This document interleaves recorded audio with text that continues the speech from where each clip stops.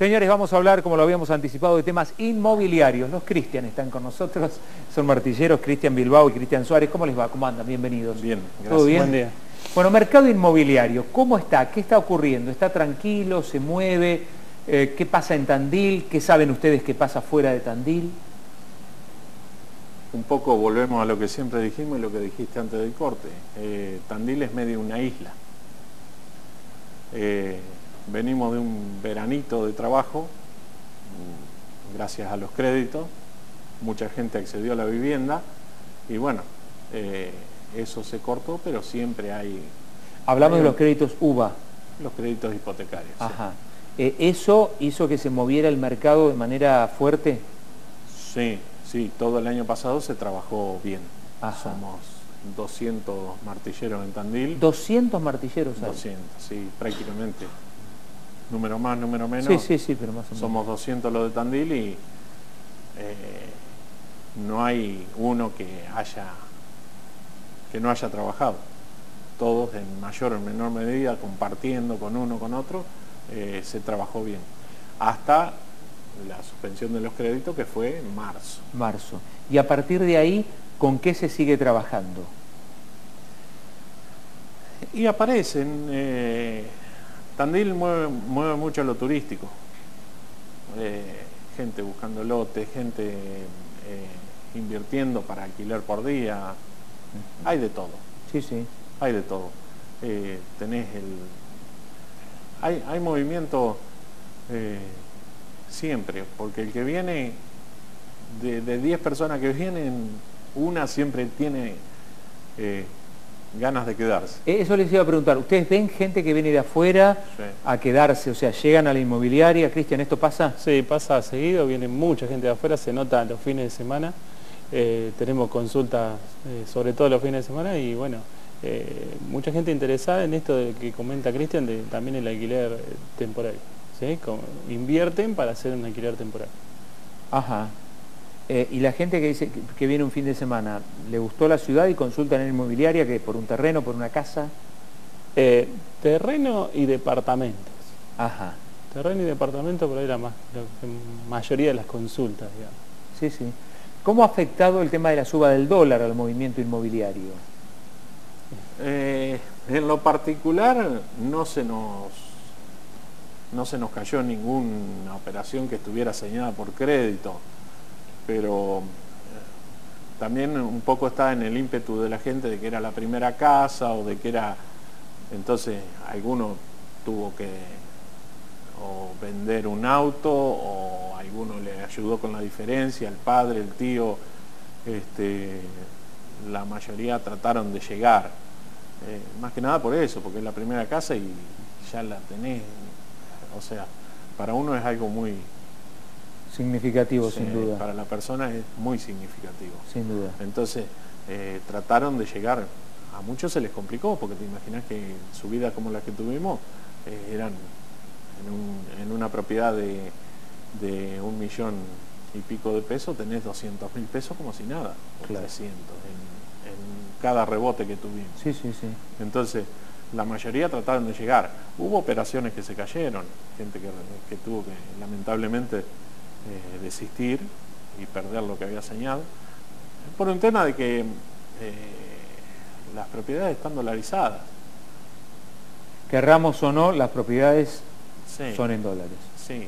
Eso también eh, produjo el tema de haber tenido una alta demanda de propiedades, produjo una subida en, el- en los valores y ahora, con este dólar, eh, cuesta hacerle entender a la gente que ya estamos hablando de otros valores.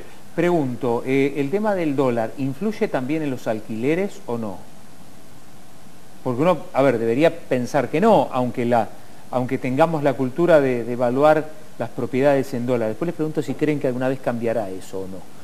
Eh, el tema, por ahí, el- hoy analizábamos con Cristian, la persona que invirtió en una propiedad, vamos a suponer, un monto de 60 mil dólares, en diciembre tenía un alquiler de 5 mil pesos. La persona que hoy invierte en una, en una propiedad también de 60 mil dólares, te da 6 mil, no es que le va a sacar muchísimo más. Y, eh, y llegar a los 60 mil dólares hoy no es lo mismo que en diciembre. O sea que no aumentaron, lo, digamos, no aumentan en la proporción de lo que aumentó Es como el que dólar. perdió algún punto de Perdió. rentabilidad el, el inversor. Ajá. Siempre tomado en dólares. Sí, sí, Siempre tomando en dólares. Siempre tomado en dólares. Exacto. ¿Va a cambiar alguna vez, esto es obviamente contrafáctico, pero qué piensan ustedes? ¿Va a cambiar alguna vez esta cultura de que no se da en, en- en otros países? Algunos sí, pero, pero no en todos. Digamos, es, es muy loco que un brasilero piense en dólares, ¿no? Piensa en reales y nada más. Acá no, acá pensamos en dólares. ¿Va a cambiar alguna vez o es muy difícil? Es una opinión personal No, de pero acá cada sí, uno. sí, es contrafáctico. Eh, si me preguntaba a mí, no creo, porque eh, la- Es parte de la cultura ya. Parte de la el, que, cultura. el que no ahorró en, en ladrillo ahorró en dólares históricamente. No sé, Claro. desde tu abuelo a. Sí, sí. ¿Me entendés? Eh, o la metían abajo del colchón o compraban ladrillo. ¿Cómo, eh, cómo está el tema del, eh, de los alquileres? Eh, ¿Siempre siguen faltando las clásicas viviendas de dos dormitorios? ¿Cómo está ese panorama? Faltar faltan. Eh, los alquileres, mm, lo que más se alquila, y vos fíjate que coincide con una nota que hicieron, no sé si ayer o anteayer, a, a esta gente de Patria Grande, ellos tienen una encuesta. Sí, eh, acá mismo estuvieron charlando. Tienen una encuesta y les daba un 70% de los encuestados eran de entre 25 y 35 años. Eh, son los estudiantes. 25, La mayoría- De 20, de 20. De 20 a 35 años. está de- bien. de 20 Digamos, a 35 Ponele de años. 20 a 30 está bien, ya de por ahí de 28 a, para arriba Pero- por ahí más familia. Pero, Sí, de, pero la de 20 a mayoría- 30 Ajá. es el estudiante que te lleva la, la, el departamento de un dormitorio, que es lo que, Lo lo que se alquila y... Eso es lo que más sale. Sí, sí, sí. Y pese a la cantidad de, de, de PH que se han realizado, pese a la cantidad de edificios, sigue todavía la, la alta demanda, no se, ha, no se ha logrado equilibrar. Y después les hago otra pregunta. Sí, no, la demanda está siempre, sobre todo en los departamentos de un dormitorio. Ajá. Eso es lo...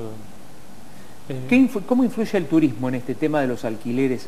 ¿Nos influye a los tandilenses el tema del turismo en el alquiler? No. Es otro Eh, mercado.